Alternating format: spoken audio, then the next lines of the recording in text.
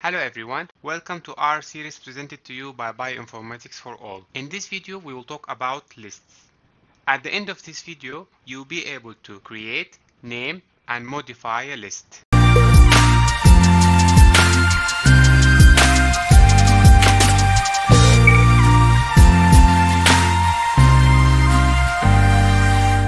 As I explained in the last video, list is a one-dimensional data structure that contains heterogeneous data type. It can contain basic data types such as numeric, character, and logical. Also, it can contain scalar, vector, matrix, and list. If you didn't watch my third and fourth video, please go watch them so you will get better idea about what is one-dimensional data structure and what is heterogeneous data type. To create a list, you need to use the list function. When you use the list function, you need to put comma between each element. We have two options to create a list. Either we write the values directly inside the list, as it's shown here, or we can assign the values first. So for example, here we assign the first element to A, second element to B, third element to C, and then we use the list function and put the variable's name inside the list function. So here in exercise one, first example is to write the values directly inside the list. And the second example, we will assign the values first, then we will create a list. So let's go to RStudio. In our first example, we are creating a list which has a vector, a matrix, and a numeric number. So let's run it. And as you can see here, our first element in the list is a vector our second element in the list is a matrix and our third element in the list is a numeric number. Next example, here we are assigning the values first. So we are assigning a vector of 303 to A. We are assigning a matrix of 9 numbers to B and we are assigning the number 100 numeric number to C. So now we are creating a list and writing the names of the variable inside of it and printing it. Here we have our new list which has three elements, a vector, matrix, and numeric. In exercise 2, we will learn how to name a list. So to name a list that already exists, we need to use the names function. So here we have our list we just created. We want to name it, so we will use the names function and we will assign a vector to it, a vector of three names, my vector, my matrix, and my number. So let's go to RStudio. So here we are giving the names to the element inside the list. So Let's run it. And as you can see here, our vector is named my vector, our matrix is named my matrix, and our numeric number is named my number. To create and name the element inside the list at the same time, what you need to do is inside the list function, you need to write your element name first equal to your element, followed by a comma, and second element name equal to your second element, and so on. So in exercise 3, what we will do is we will create a list which will have gold, silver, and oil price for March and April. To create a very simple list, we will use the list function. We will have three vectors in it. The first vector is for the gold price for March and April. Second vector is for the silver price for March and April. And third vector is for the oil price for March and April. So let's go to RStudio and try it. So here is our basic list. It's the most basic list you can get from data we have. So here's our first vector for the gold prices, second vector for the silver prices, and the third vector for the oil prices. So let's run this command.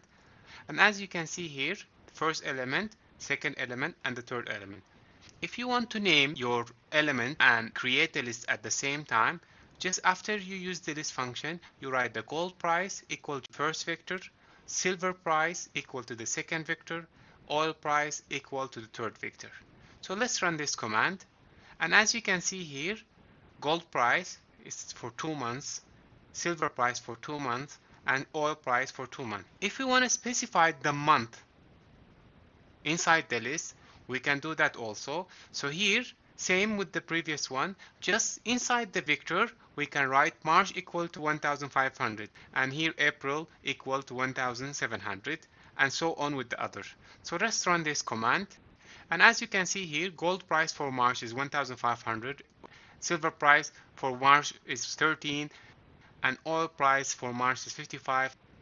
So what if I want to specify the value? So for example, dollar per ounce. Here I want you to note something. Here when you use gold price as a one word without a space, we just wrote it. But if you want to put space or use signs or use brackets, you need to use the quotation mark. So let's run this command and see the outcome. So you can see here gold price dollar per ounce for March is 1500. Silver price dollar per ounce for March is 13.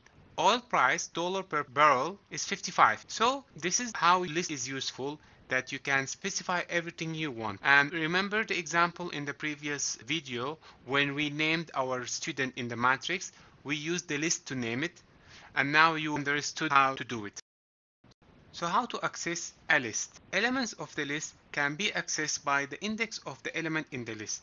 It can either be accessed by single brackets or double brackets. But what's the difference between single and double brackets? Single brackets informs you that there is a car in that part of the trailer. Just gives you an information. But double bracket brings the car down to you from the trailer. Single bracket returns the sublist, not the content. And double bracket returns the content. So in this example, we will create a new list March prices for gold, silver, and oil. And we want to learn from this exercise the difference between the single and double bracket. So to access the third element in the list, we will need to write our list name, single brackets, and write 3. Same with double brackets, we will need to write the name of the list, double brackets and 3. Here we are accessing, both we are accessing the third element in the list, which is oil price. This is the first, this is the second, and this is the third. So what we want to do here, here we are saying we have 135 barrels of oil. So we are assigning it to G, so we can do simple mathematic operation. So here what we are saying is, we are saying take this value, oil price 1, which is the third element between single brackets and multiply it to 135 give me the value and in this one here is saying take this value oil price 2 the one with the double brackets multiply it with the 135 and give me the value so let's go to RStudio and try it first let's create our list our new list March prices so now we have gold price silver and oil price in our new list. Now let's access the third element with the single brackets. It says oil price 55. And let's access the third element again with double brackets here. And let's assign 135 to G.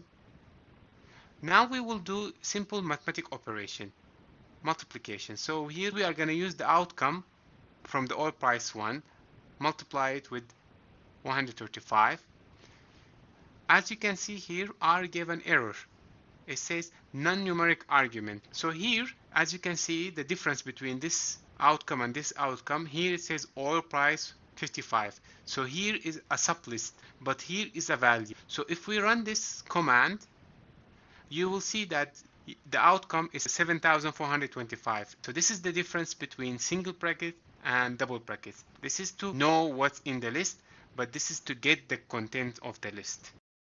So in this exercise, we'll learn how to access two elements or more at once. If you want to access two elements next to each other, you can use the colon between the number. So here we are accessing the elements from 1 to 2. If you want to access elements away from each other, you will use the comma between the number. So here we are accessing the first and the third element.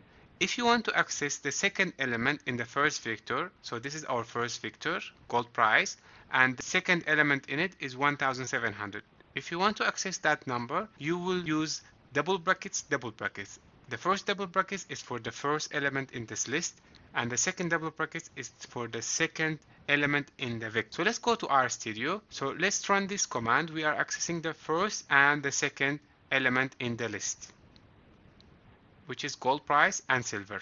It's gold price here and silver. So here we are accessing the first and the third elements in the list. So let's run this command. And as you can see, gold price and oil price. So here's the gold price, the first and the third. So in the last one, we will access the second element in the first vector. So let's run this. And as you can see, 1700. If your elements in the list are named, you can access them by using the dollar operator. So you write your list name followed by the dollar sign and write element you want to access. Here we want to access gold price. The advantage of this dollar operator that it can do partial matching. So if you write just gold, it will get you gold price values. Let's go to our, and now we want to access the gold price. So when we run it, and you can see 1500 and 1700. So if we do just, if we write gold, still, it's gonna give you the same output. In exercise 7, we will learn how to modify a list. So if you want to modify a list, you need to do reassignment to the element you want to change. In our case here, we want to change the gold price from ounce to gram. So here, what we are going to do is, first we are going to access the gold price elements. So here we are going to write list name between double brackets. I'm going to write gold price. I'm going to assign to it a vector of two numbers. It's the price of gold in grams in March and April. So let's go to RStudio. In exercise 7 here, we are gonna do reassignment to the gold price. So let's run. And now as you can see, I only changed the gold price from ounce to gram. In this exercise, we will learn how to add or remove elements from a list. To add element to a list, we need to write our list name between double brackets quotation mark we will write our elements name here we are adding platinum price and we will assign a vector of prices to it 600 for the March price and 750 for the April price.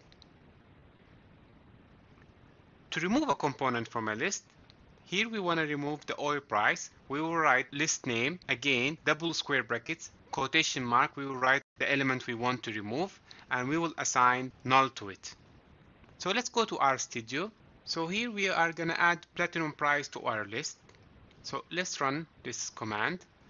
And as you can see, we have golden price, silver price, oil price, and our new element is added. Here we want to remove the oil price from our list. So let's run this command.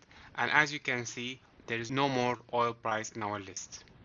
In this exercise, we will learn how to merge lists. So to merge lists, we need to use the merge list function. So we have our old list here. Now we need to create a new list. So we will create a copper price list, which contain the copper price for March and April. And after that, we will use the merge function and combine the old list prices and the new list copper prices to view the structure of the list, we can use the structure function. So let's go to RStudio and try this. So let's go to exercise 9. So first of all, let's create the copper price list. So now here we have the copper price 2.1 for March and 2.3 for April. Now what we will do is we will merge this list and assign this merged list to updated list. So let's run this command.